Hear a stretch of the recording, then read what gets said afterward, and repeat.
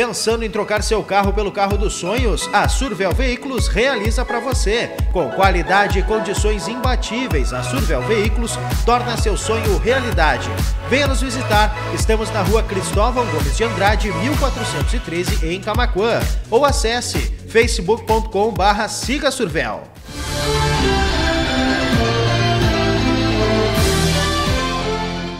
Conforme a Agência Nacional de Energia Elétrica, a bandeira tarifária que deve vigorar em todo o país deve permanecer a verde, sem custo adicional até o fim do primeiro trimestre deste ano.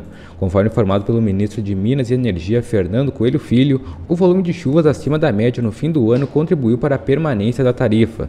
No ano passado, nos meses de outubro e novembro, a bandeira que vigorou foi a vermelha patamar 2, o que implicou a cobrança de R$ 5,00 para cada 100 kWh consumidos, mas com acréscimo no nível dos reservatórios, houve a diminuição gradativa dos acionamentos das termoelétricas, podendo a bandeira tarifária ser a verde.